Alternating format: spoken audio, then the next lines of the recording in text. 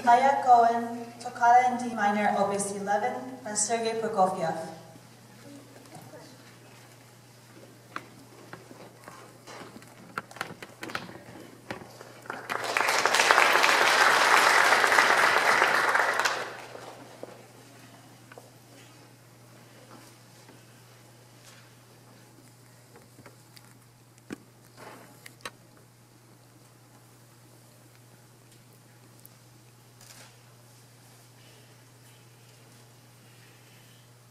thank you